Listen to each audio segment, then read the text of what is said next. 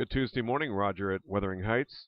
Looking at a band of moisture that's uh, just working into uh, mainly western half of Vermont and trying to overlap into eastern Vermont now. A little slower uh, progression here.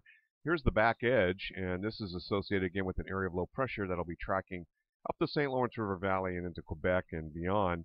It's going to pull in some uh, drier air. This is water vapor imagery, shows that uh, currently.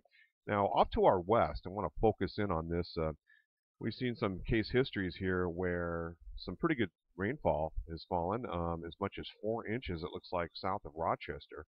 See a couple four inch uh, amounts here, a little west of Syracuse.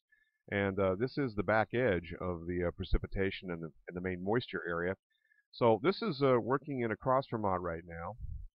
And taking a look at the radar, uh, nothing of any concern in terms of any kind of lightning or thunderstorm activity associated with this.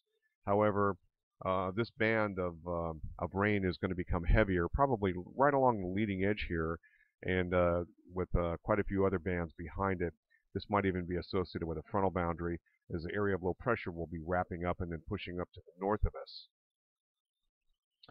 So running the uh, latest uh, HRRR model, you can kind of get an idea here when that back edge begins to move in, roughly toward around 3 o'clock, starting to enter parts of southwestern Vermont by even uh, as early as noon, uh, 1 o'clock, and uh, that's going to be sort of pushing across mainly north central Vermont and then eventually the northeast kingdom. But on the very back edge, we might get a couple of hours of instability where the sun comes out, some intervals of sunshine, and you can see here some widely scattered thunderstorm activity may blossom. This is valid about 5 o'clock uh, later today. And uh, I would not be surprised to see a little regeneration of shower and thunderstorm activity on the back side of this system as it moves on through. And then things kind of wind down and move on out. That's valid about uh, 8 o'clock, and that's 9 o'clock. Little secondary bit of business we'll have to keep a close eye on. I think we will see more widely scattered showers and thunderstorms, with one or two strong potentially uh, during the day on Wednesday.